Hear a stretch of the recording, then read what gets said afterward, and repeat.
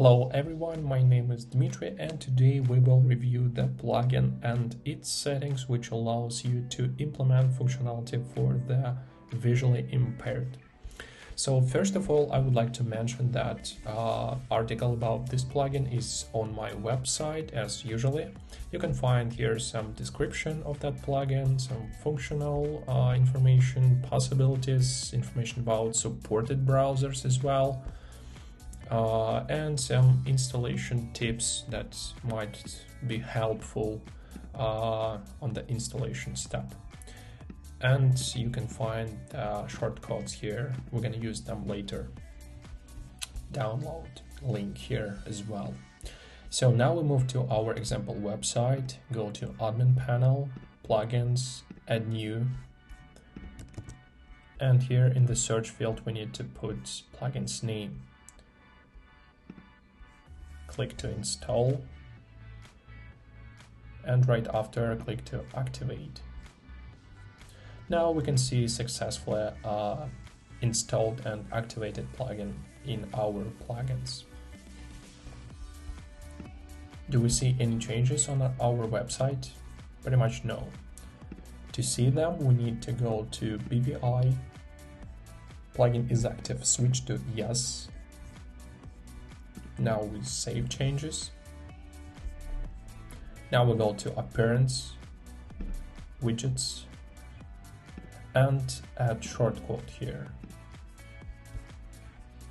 And we now need to choose between two different shortcodes. Uh, one will be with a text. Let's use this one. And another one only shows the icon. I prefer first one because that's uh, easier to understand for your uh, users.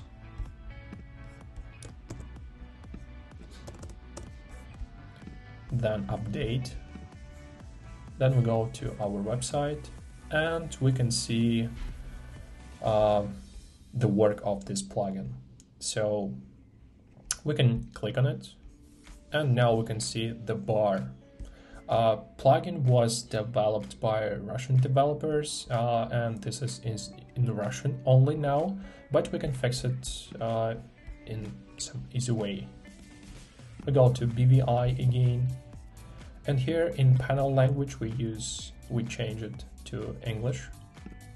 Save changes again. Go to our website, and now we can see everything is in English uh, you are able to change font size here, side colors, you can disable images, you can make them gray. So pretty much everything that um, visually impaired might need on your website and everything is pretty straightforward. You also can uh, have speech synthesis here. Uh, you can disable it by clicking here.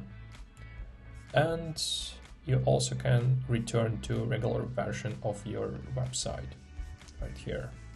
So that is pretty much all the settings. I will leave uh, this setting this plugin here. So if you'd like to get familiar with that you can always uh, open that uh, example website and find out how it works.